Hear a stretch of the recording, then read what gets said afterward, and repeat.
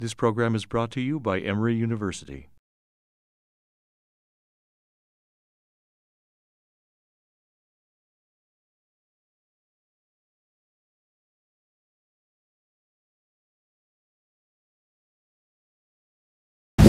This uh, next award means a lot to me to be able to present because over the last 20 years uh, I've been a lot, through a lot uh, with this um, incredible human being.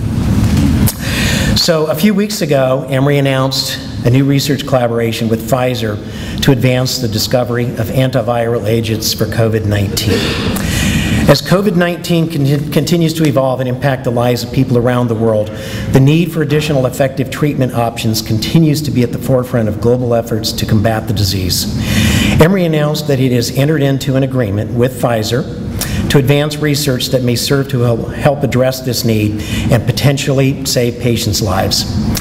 Under the terms of the research collaboration, option, and license agreement, Emory University's Schinazi Laboratory, led by distinguished researcher Raymond Schinazi, and Pfizer will work together to identify and evaluate potential antiviral compounds for the treatment of COVID 19.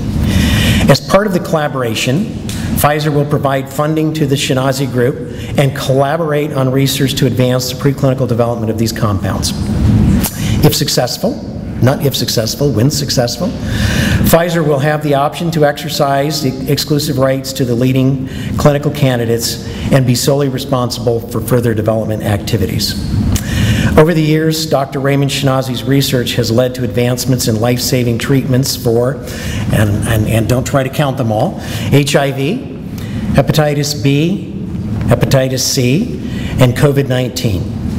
Dr. Schinazi's understanding of the drug development process from discovery through development, clinical research, and treatment truly sets him apart from his peers. It has been an incredible experience for my team in OTT to learn from Ray over the years. He has been instrumental in shaping our experience and understanding in not only how technology transfer can work, but its enormous potential to save lives, and he has saved a lot of lives. I want to personally thank and recognize Dr. Schinazi and his team for being such great partners throughout the years, as well as for their dedication to saving lives. Laura Fritz in my office worked very hard and was instrumental as she led this negotiation for Emory. We are appreciative of our partners at Pfizer for working so hard to get this deal done quickly, um, even though it didn't always feel like it was quickly. Um, in the grand scheme of things, it was pretty quickly, um, so that the research could begin. Please join me in recognizing Dr. Raymond Schinazi, Dr. Franck Amblard, Dr. Mahesh Kasthuri, Dr. Longhu Zhou, Dr. Zhe Chen, and Dr. HongWang Zhang for receiving the Deal of the Year Award.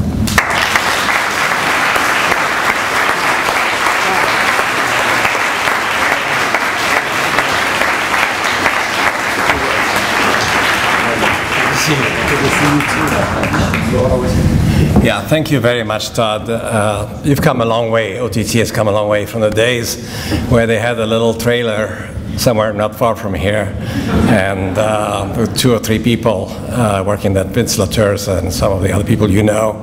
It's remarkable how far we've come at Emory. Over the years I've been, this year I will celebrate my 45th year.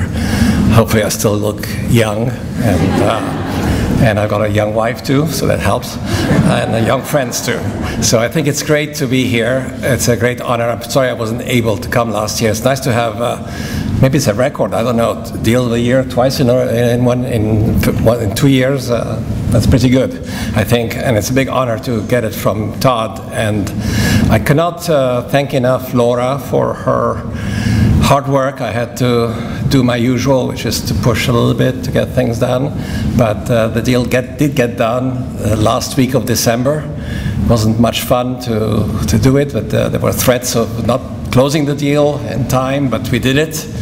It's a deal really, it's, it's fantastic because we already have lead, what we consider as lead compounds. And now we have to convince the company that uh, we indeed have these, they're, they are indeed leads. It takes time for them to realize what we have, the treasure we have here at Emory. And as you know, we two, more than three years ago, we started probably the first uh, COVID lab at Emory, very first one. We carried, we basically got the virus from NIH and started working immediately on it. And we worked on trying to find drugs. And of course, we focused our energy on the low hanging fruit, which was basically inflammation. Although at the time people didn't realize uh, it's a two-part disease. One is the virus and one is inflammation.